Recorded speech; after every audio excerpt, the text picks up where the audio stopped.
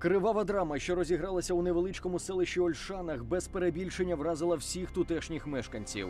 Люди розповідають, навіть не почули, як їхній односелець вирушив на той світ.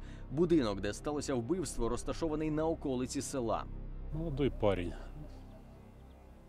Ну, он уже сидел, так что хулиганистый. А так, не знаю, что на него нашло. Не ожидали, конечно, такого. В шоке. Особенно мать Скорая приезжала тут. ну, Того фатального дня господар будинку, 25-річний Артем, повернувся з помину вже затемна і добряче на підпитку. Хлопець саме збирався спати, коли почув підозрілі звуки у власному дворі. Схопився за сокиру та пішов розбиратися.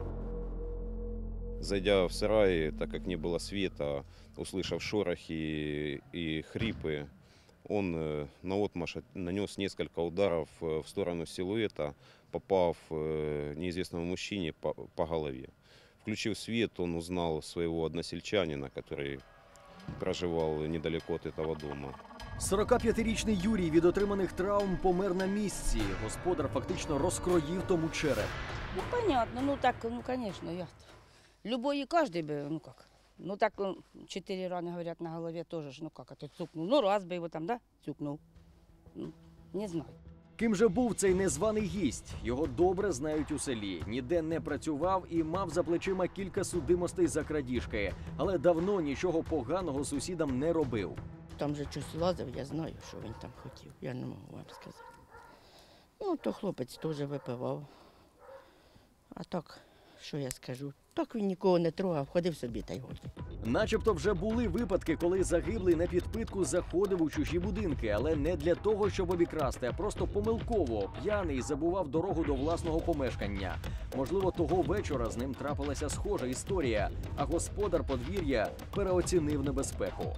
изучив личность э, подозреваемого, ну, т- человек не из пугливых, э, э, возможно, он думал, что у него хотят что-то украсть с сарая. Ну, по сути, осмотрев сарай, мы установили, что воровать там нечего. Там были с- сложены ветки, дрова, которыми он топил э, печку в своем домовладении. То есть, э, ну, скорее всего, сыграл просто алкоголь в нем. 25-річний Артем, як і убитий, теж мав проблеми із законом, але серйозніші. Лише півтора року, як вийшов із тюрми на волю після терміну за пограбування. Молодой парень, да. Молодой. Ну, он уже был судимый, тоже такой. Не раз уже даже. Так что уже сидел и, наверное, раза два.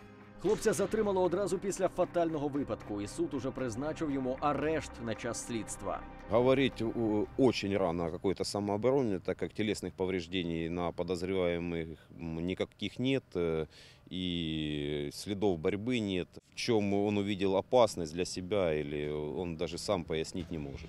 Експертами ще доведеться розбиратися щодо стану афекту підозрюваного під час убивства, але стаття, яку йому інкримінують, передбачає до 15 років позбавлення волі.